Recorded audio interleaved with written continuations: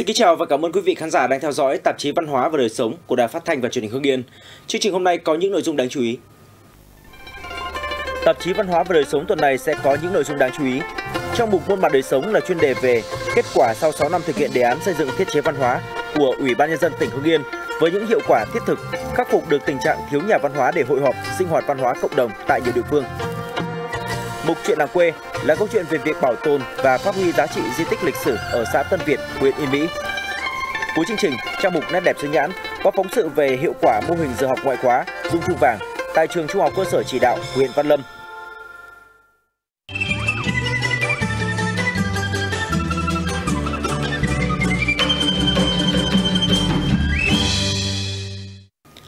Thưa quý vị, năm 2017, tỉnh Hưng Yên ban hành đề án xây dựng thiết chế văn hóa tỉnh Hưng Yên giai đoạn 2017-2020, định hướng đến năm 2025. Tiếp đó, năm 2021, tỉnh ủy ban hành nghị quyết về đề án phát triển hệ thống thiết chế văn hóa thể thao giai đoạn 2021-2025, định hướng đến năm 2030. Theo đó, tỉnh Hưng Yên hỗ trợ kinh phí xây dựng các nhà văn hóa từ cấp thôn trở lên, đồng thời yêu cầu các cấp, các ngành, các địa phương bố trí nguồn kinh phí để xây dựng hoàn thiện thiết chế văn hóa, sau gần 6 năm, nhiều địa phương trong tỉnh đã giải quyết được tình trạng thiếu nhà văn hóa để hội họp, sinh hoạt văn hóa cộng đồng. Nhờ sự hỗ trợ kinh phí của tỉnh, của huyện và kinh phí đối ứng của Ủy ban nhân dân xã, cho nên thôn Yên Lịch, xã Dân Tiến, huyện Khói Châu vừa đưa vào sử dụng một nhà văn hóa mới với tổng diện tích 1.500 m2, gồm khu tập thể thao, nhà văn hóa 200 chỗ ngồi rộng 500 m2, khắc phục tình trạng thiếu nơi để hội họp như trước kia. Từ khi có nhà văn hóa, phong trào văn nghệ thể thao trong thôn phát triển sôi nổi. Bên cạnh đó, các cuộc hội họp sinh hoạt văn hóa cộng đồng đã được cải thiện hơn trước. Người dân được họp trong không gian nhà văn hóa rộng rãi, mát mẻ và tiện nghi. Bởi vậy, chất lượng các cuộc họp được nâng lên đáng kể. Cấp trên cho xây cho thôn chúng tôi một cái nhà văn hóa mới, khang trang, đẹp đẽ thì nhân dân rất phấn khởi. Những các cuộc họp đều đi đông đủ, như ví dụ như cuộc họp này, này đoàn ngày đoàn cấp toàn dân rất đông Giống như thôn Yên Lịch, trước đây thôn Kim Tháp, xã Đồng Tiến không có nhà văn hóa độc lập, phải họp chung với lớp mẫu giáo. Năm 2021, thôn đã nhận bàn giao một nhà văn hóa khang trang trị giá gần 2 tỷ đồng từ sự hỗ trợ của các cấp và ngân sách của xã. Trong nhà văn hóa được trang bị đầy đủ trang thiết bị phục vụ hội họp, biểu diễn văn nghệ. Vì vậy, đã khích lệ đội văn nghệ thôn tích cực tập luyện, tự biên tự diễn các tiết mục, góp phần nâng cao đời sống văn hóa tinh thần tại địa phương mọi mặt đời sống văn hóa được nâng cao hẳn. À, tất cả các đoàn thể từ cựu chiến binh đến ờ, hội ờ, người cao tuổi đến phụ nữ đến thanh thiếu niên đều sinh hoạt đây hết. Sau khi có nhà văn hóa mới, nhân dân thôn Kim Tháp xã hội hóa gần 200 triệu đồng để xây dựng cụm sân cầu lông và sân bóng mini cho trẻ em trong khuôn viên nhà văn hóa thôn, thu hút nhiều người dân ở các lứa tuổi tập các môn thể thao nâng cao sức khỏe cho bà con và nhân dân. Cái thứ hai là tăng cường sự đoàn kết của nhân dân trong thôn xóm. Theo số liệu của Sở Văn hóa Thể thao và Du lịch, giai đoạn 2016-2020, toàn tỉnh đầu tư gần 800 tỷ đồng từ ngân sách nhà nước của các cấp để xây dựng mới 44 nhà văn hóa xã, phường, thị trấn, 146 nhà văn hóa thôn, tổ dân phố, đảm bảo tiêu chí về diện tích, quy mô, trang thiết bị theo quy định của Bộ Văn hóa Thể thao và Du lịch. Giai đoạn 2021-2025, tỉnh Hưng Yên tiếp tục thực hiện đề án xây dựng nhà văn hóa cấp thôn, cấp xã, yêu cầu các địa phương dành nguồn kinh phí để xây dựng, hoàn thiện thiết chế văn hóa thể thao phục vụ nhân dân. Bên cạnh sự hỗ trợ kinh phí của tỉnh, của huyện thì nhiều địa phương trong tỉnh Hưng Yên trong quá trình xây dựng nông thôn mới nâng cao và nông thôn mới kiểu mẫu quan tâm chú trọng quy hoạch quỹ đất và dành ngân sách để xây dựng thiết chế văn hóa, vừa tạo diện mạo nông thôn khang trang, đổi mới, đồng thời đáp ứng nhu cầu sinh hoạt văn hóa của người dân. Điển hình như xã Vĩnh Khúc, huyện Văn Giang trong những năm gần đây đã đầu tư gần 40 tỷ đồng để xây dựng nhà văn hóa xã và các thôn. Năm 2021, xã Vĩnh Khúc đầu tư 24 tỷ đồng từ nguồn đấu giá đất giãn dân xây dựng nhà văn hóa xã, tổng diện tích hơn 1.000 m2 với 400 chỗ ngồi, được trang bị nội thất hiện đại cùng hệ thống âm thanh, ánh sáng, màn hình LED. Nhà văn hóa này được đưa vào sử dụng từ đầu năm 2022 và bước đầu đã mang lại hiệu quả. Ngoài là nơi diễn ra các cuộc họp của xã, thì nhà văn hóa còn thường xuyên phục vụ các ban ngành, đoàn thể và các trường học trong xã đến tập và biểu diễn văn nghệ bởi hệ thống âm thanh, ánh sáng trong nhà văn hóa đồng bộ, đạt tiêu chuẩn và có điều kiện thuận lợi dành cho sinh hoạt văn hóa văn nghệ. Đảng ủy, ủy ban nhân xã rất là quan tâm đến các cái thiết chế văn hóa nhằm cái mục đích là nâng cao chất lượng sinh ờ, hoạt ờ, văn hóa tập thể của người dân cũng như các cái khu vui chơi thể dục thể thao ừ, gắn liền với các nhà văn hóa để phục vụ người dân ờ, sinh hoạt trong cộng đồng hàng ngày. Ngoài nhà văn hóa xã, trong 2 năm trở lại đây, xã Vĩnh Khúc đã đầu tư gần 20 tỷ đồng để xây mới nhà văn hóa các thôn Giáo Phòng, Vĩnh An, Du Trảng, Thôn Lương, tu sửa nhà văn hóa thôn Đọ, thôn Hạ Tân. Các nhà văn hóa thôn này đều có khuôn viên rộng rãi dành cho các hoạt động thể dục thể thao, vui chơi, nghỉ ngơi.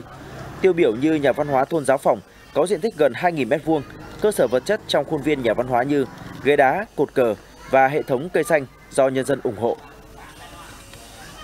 Về ủng hộ thì về tính tiền và hiện vật thì vào tất cả vào hơn 100 triệu. Ông Nguyễn Văn Nguyên thì cũng ủng hộ về tiền là 32 triệu 200. Thế rồi cây đây thì là mấy nhằm nhà ông Ấn. Thế rồi là ghế đá là nhà ông Tình ủng hộ như thế là 25 mươi ghế đá và hai cái cột cờ inox. Nhà văn hóa thôn là nơi thu hút đông đảo người dân đến vui chơi, tập thể dục thể thao, tạo nên không khí sôi nổi, gắn kết tình làng nghĩa xóm. Câu lạc bộ dân vũ, câu lạc bộ bóng chuyển hơi thôn Giáo Phòng đều đặn đến nhà văn hóa tập luyện vào buổi chiều và buổi tối hàng ngày. Ánh sáng thì rất là đầy đủ cho chị em tập và có nhiều đội đến để giao lưu ờ, ờ, học hỏi về cái bóng truyền. Chiều đến thì rất là vui. Rồi chuyện trò cứ ờ, phấn khởi về cái thôn, tự hào về cái thôn của mình. Xã Vĩnh Khúc hiện có số lượng nhà văn hóa cấp thôn nhiều nhất tỉnh Hưng Yên. Tất cả 13 thôn trong xã Vĩnh Khúc đều có nhà văn hóa khang trang, rộng rãi, đáp ứng nhu cầu hội họp, sinh hoạt văn hóa cộng đồng của trên 14.000 dân. Tỉnh Hưng Yên đề ra mục tiêu đến năm 2025, 100% xã phường thị trấn có nhà văn hóa và 100% thôn, tổ dân phố có nhà văn hóa, khu hoạt động thể thao. Để hoàn thành mục tiêu này, cần sự vào cuộc tích cực và sự đầu tư của các địa phương. Phóng sự thực hiện ở xã Quảng Lãng, huyện Ân Thi, một địa phương tuy còn nhiều khó khăn, song đang dành mọi nguồn lực để xây dựng thiết chế văn hóa.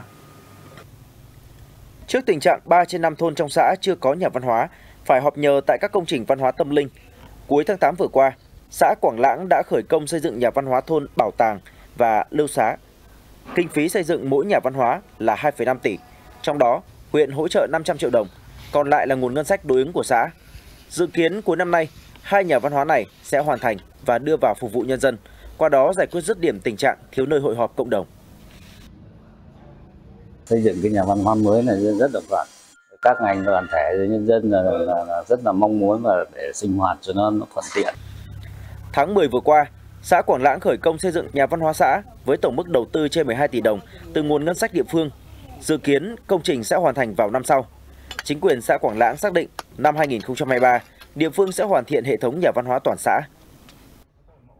Trong những năm qua thì chúng tôi đã ờ, quy hoạch các cái chỗ đất dành một số cái ờ, kinh phí cho các thôn để xây dựng ờ, nhà văn hóa để cho các, các sinh hoạt cộng đồng của của lập thôn để tiến tới là xây dựng à, nông thôn à, mới uh, nâng cao. Ngoài xã Quảng Lãng, một số xã khác trên địa bàn huyện Ân Thi cũng đang xây dựng các nhà văn hóa thôn như Bắc Sơn, Đào Dương, Hồ Tùng Mậu, Đặng Lễ. Hiện nay, toàn huyện Ân Thi còn 13 thôn chưa có nhà văn hóa. Huyện phấn đấu đến hết năm 2024, tất cả khu dân cư đều có nhà văn hóa độc lập đạt chuẩn.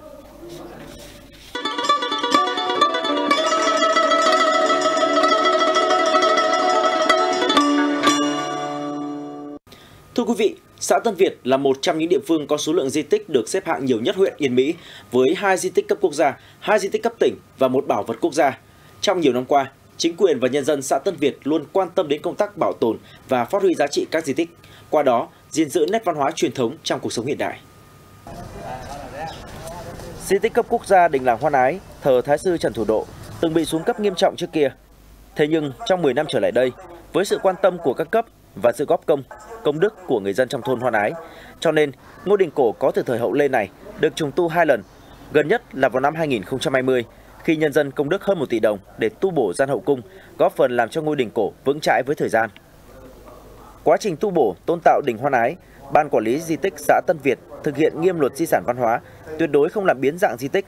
Bởi vậy, ngôi đình giữ được những nét cổ với kết cấu gỗ vững chắc, mang phong cách mỹ thuật thời Lê Nguyễn. Trên các bộ vì kiểu đều được chạm khắc cầu kỳ, tinh xảo, thể hiện sự tài hoa của người thợ xưa. Ngôi đình gắn bó với bao thế hệ người dân, trở thành niềm tự hào của dân làng Hoan Ái. Tuy rằng nhiều lần tu sửa nhưng mà vẫn giữ nguyên được cái nét lúc ban đầu. Đinh của chúng tôi là chữ đinh, đằng trước là có bảy gian gọi là tiền bái. sau tiền bãi là có ba gian là khu trung từ và cuối cùng là hậu cung. Đây nó là một cái nơi trung tâm đoàn kết của thôn Hoan Lại. Những ngày hội, ngày hè, nhân dân ra đây rất phấn khởi, rất vui vẻ và rất tự hào. Quê hương mình có một ngôi đình rất là đẹp và lại vang tính chất cổ kính. Nhằm lưu giữ nét văn hóa đặc trưng vùng đồng bằng Bắc Bộ với cây đa, giếng nước, sân đỉnh, thôn Yến Đô cũng mới huy động nguồn xã hội hóa từ nhân dân, người con xa quê, doanh nghiệp được trên 7 tỷ đồng để tôn tạo giếng làng, trùng tu đỉnh Yến Đô bị xuống cấp, có nguy cơ sụp đổ. Việc trùng tu được sự đồng thuận và giám sát chặt chẽ từ người dân nên ngôi đình vẫn giữ được kiến trúc ban đầu, đặc biệt là giữ lại những bức cốn cổ có niên đại hàng trăm năm. Dự kiến ngôi đình sẽ hoàn tất tu bổ vào cuối năm nay. Khi cái ngôi đình xuống cấp thì chúng tôi cũng đã mời toàn thể nhân dân trong thôn để họp dân để bàn để xây dựng lại ngôi đình cho nó khang trang được sự ủng hộ nhất trí cao của toàn thể trong nhân dân và trong khi đó nhân dân cũng đóng góp công sức tiền của vào để xây dựng ngôi đình mới. Ngoài ra, với sự quan tâm của chính quyền địa phương và nguồn công đức của nhân dân, những di tích như giếng cổ, đình, chùa thôn Cảnh Lâm, đình giã Cầu, chùa Hoan Ái cũng được tu bổ khang trang trong những năm gần đây.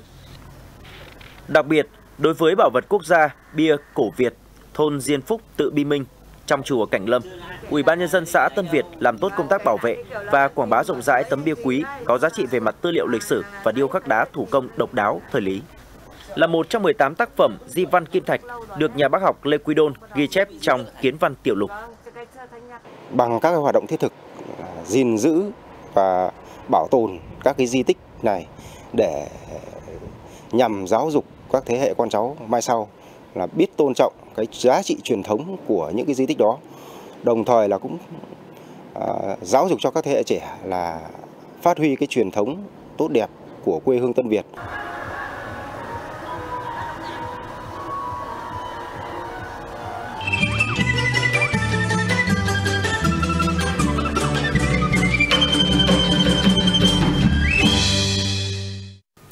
Được đưa vào triển khai từ năm 2017, mô hình ngoại khóa Dung Trung Vàng mỗi sáng thứ hai đầu tuần tại trường Trung học cơ sở chỉ đạo huyện Văn Lâm trở thành giờ ôn luyện kiến thức ngoài trời lồng ghép trong giờ chào cờ cho tất cả học sinh trong trường.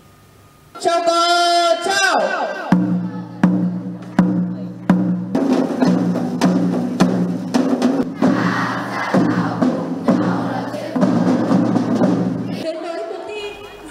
Đã từ 5 năm nay, sau những phút giây trang nghiêm chào cờ đầu tuần, cô và trò trường trung học cơ sở chỉ đạo lại bước vào hoạt động thi Dung Trung Vàng. Mỗi tuần, lần lượt học sinh của từng khối sẽ bước vào phần thi đấu loại trực tiếp ngay trên sân trường. Nội dung thi chính là những phần kiến thức mà các em đã được học và ôn tập của tuần học trước. Hoạt động này được các thầy cô và học sinh gọi vui là giờ ôn tập ngoài trời. Con được giải nhất và cảm xúc của con rất vui. Cách thức là giúp cho con nhớ bài hiệu quả hơn là ở trên lớp và về nhà phải học thuộc bài và cuộc thi dung chương vàng ạ. Thường là 4 tuần thì đến khối của con tổ chức ạ. Con sẽ ôn bài tập và học những lại học lại những kiến thức uh, đã học. Các cô trong trường tổ chức dung chuông vàng giúp bọn con uh, củng cố lại bài học cũ qua những câu hỏi. Mỗi chương trình Dung Trung Vàng diễn ra không chỉ là dịp để cô và trò của trường Trung học cơ sở chỉ đạo ôn lại kiến thức đã học, mà đây còn là cơ hội giúp tất cả các thành viên trong ngôi trường gắn kết và sẻ chia cùng nhau. Theo kế hoạch, để có thể tổ chức được hoạt động này, trước đó các thầy cô được giao nhiệm vụ sẽ phải tổng hợp, lựa chọn các câu hỏi từ các thầy cô bộ môn. Sau đó lên kế hoạch chương trình và phân công nhiệm vụ cho từng người. Trước khi ờ, thực hiện một cái chương trình dung chuông vàng hàng tuần thì chúng tôi phải ờ, biên soạn câu hỏi Tức là thứ sáu là tất cả các đồng chí trong tổ khoa học xã hội ví dụ là ờ, sẽ phải gửi tất cả những cái câu hỏi thuộc lĩnh vực môn của mình về. Sau đó thì về mail của tôi. Sau đó là tôi sẽ phải ờ, biên soạn câu hỏi theo mức độ nhận biết, thông hiểu, vận dụng và từ mức độ là dễ cho đến khó và có những cái câu hỏi ờ, làm sao để học sinh có thể vận dụng ngay những cái kiến thức cơ bản ở trên lớp các con vừa được học. Tôi muốn là các con phải cuốn vào, cuốn vào cái trò chơi đó và khi mà các con được cuốn vào như thế thì tạo cái niềm vui thực hiện hiện đúng phương châm là mỗi ngày đến trường là một ngày vui. 5 năm vừa qua, chất lượng giáo dục của nhà trường cũng đã tiến bộ đáng kể. Đặc biệt là chất lượng thi vào lớp 10 trung học phổ thông. À, hiện tại thì 5 năm vừa qua xếp thủ, top 3 toàn huyện và năm vừa rồi là xếp thứ hai. Sự thống nhất, đoàn kết và trách nhiệm của thầy cô cũng như học sinh từng khối trước mỗi giờ thi đấu cũng giúp cho giữa thầy cô và học sinh của ngôi trường này không còn khoảng cách, môi trường học tập luôn vui vẻ và hạnh phúc. Có thể nói, đây thực sự là một trong những mô hình học tập nên được nhân rộng hơn nữa tại nhiều trường học trên địa bàn tỉnh.